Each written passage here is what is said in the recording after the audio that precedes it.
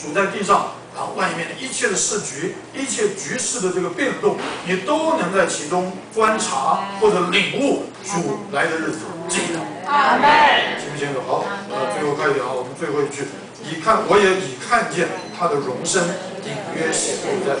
我觉得这首诗歌结束结束的非常好，第一节嘛，它最后结束在就把我们带到内里的生命的工作去了。阿门。怎么说我已看见他的容身呢？啊，这个意思也就是说，我在这里不只观察，我会观察外面主在这个市局里的工作，我知道他的行动。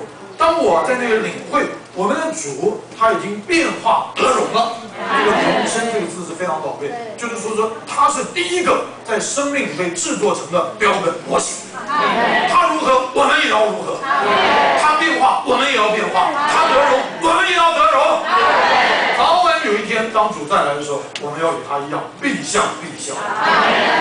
所以最后他就说：“我已看见他的容身隐约显露在天啊。”这就是说出他拯救的保证啊。好，时间到了，我们再把第一节唱一遍。